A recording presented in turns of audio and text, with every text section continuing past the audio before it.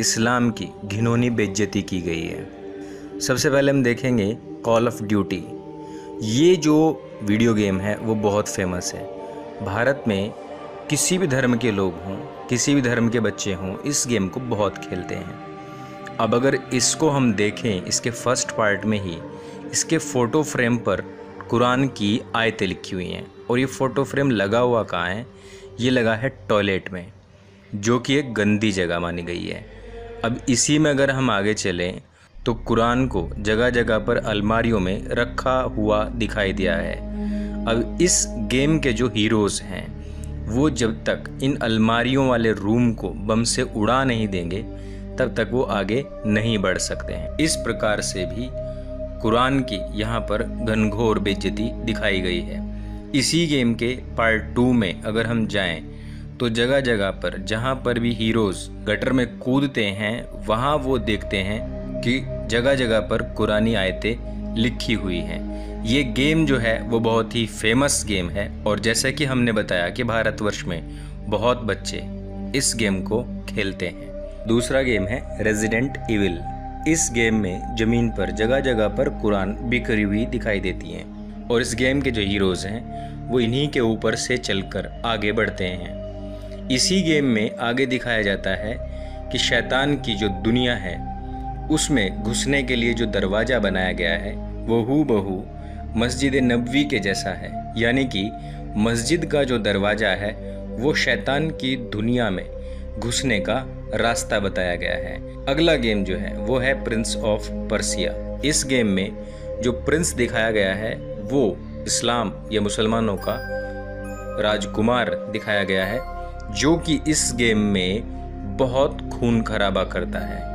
उसकी जो तलवार है, उसकी तलवार पर जो मैसेज लिखा हुआ है, वो मोहम्मद साहब, आखिरी नबी का बताया हुआ संदेश है, अर्थात स्प्रेड द टीचिंग्स जो शिक्षाएँ हमने आपको दी हैं, उनको फैलाइए।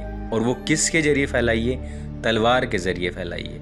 इस पूरे गेम में जहाँ भी आप देखेंगे प्रिंस ऑफ़ पर्सिया वो कर क्या रहा है?